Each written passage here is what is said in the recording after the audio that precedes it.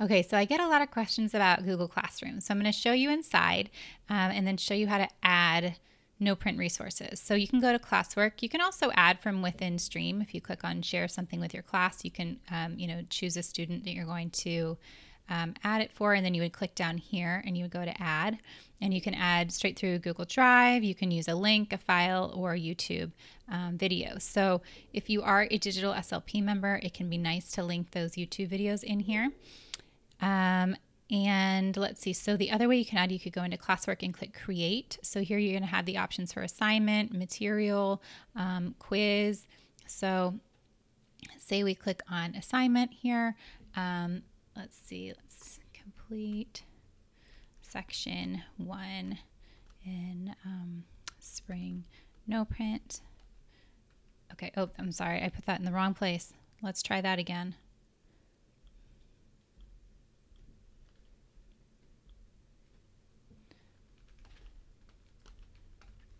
Okay, um, so I have this open here and I just put in the title and the instructions and um, we're going to add, it's just like we looked at in the stream, you can do YouTube, file, link, Google Drive. Um, so I'm going to do a file and then you can, um, you can go and access your drive here or you can select an item for your device from your device, which is what I'm going to do. Okay, so I dragged my resources in and I'm going to click upload and upload them. Um, generally, you're not going to do all three, but because I'm going to be in a minute, I'm going to be doing some sessions uh, via Zoom and Google Hangouts to show you. I'm going to put all three of these on here so my daughter can easily ex- access them. So, generally, you would just be putting the one PDF that you want to be using for that session. Okay, so um, I added these in. So, like I said, I just uploaded these. Generally, you're not going to add this many to an assignment, but it is possible. Um, it talks a little bit about the sharing settings here, um, so you can determine if you want to um, limit um, or add privileges to what the student can do. Um, you can also go to make a copy for each student, which is going to be important if this is something that you are having your students fill out. Okay, so I'm going to go ahead and click assign.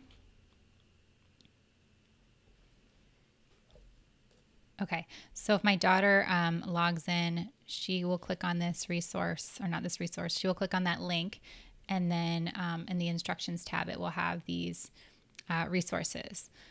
So let's talk a little bit about these. Um, so I'm going to click on this, and what you're going to see is that this is not clickable right now. So um, we need to do something about that. So um, there's a few things you can do. Um, you can go to open in a new window.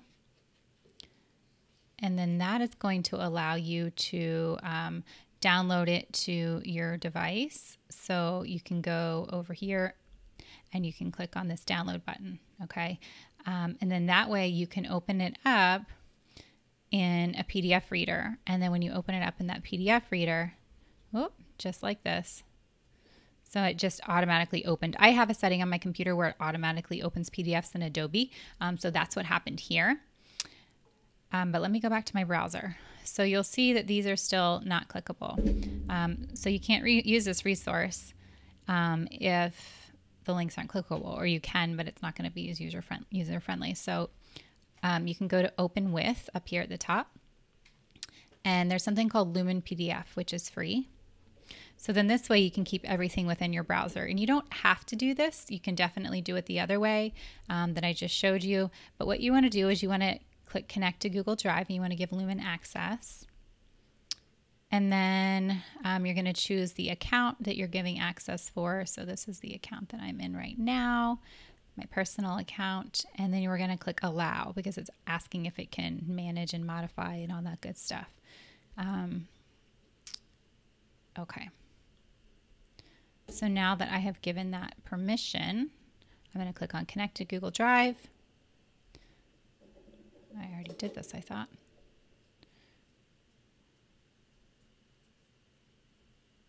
Okay. Looks like it's thinking, okay, perfect. So now it's opening that resource within Lumin. So it's taken a minute to think about it. Um, but once it's open, you will see it's too big to fit here. So what you want to do is you want to come over here and you want to click fit so it fits to your screen.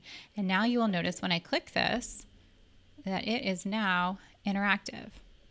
So um, we have fill the gumball machine. Um, what we're going to do is we're going to click on these gumballs and they are going to fill up the machine. So this is CH initial. We're going to click here and just like that, um, the gumball machine starts to fill up. So now this resource is interactive like it's supposed to be. So this is a workaround if you're having issues in Google Classroom um, for how you can open these and keep them interactive on your browser. So I hope that you found that to be helpful. Um, I'm going to, right now, I'm going to actually go and record a few more videos showing how to use these um, in this way and also with Adobe, Adobe Acrobat uh, while I do a Zoom session and a Google Meet session with my daughter. So if you're interested in that, I will drop links for those in the comments of this video.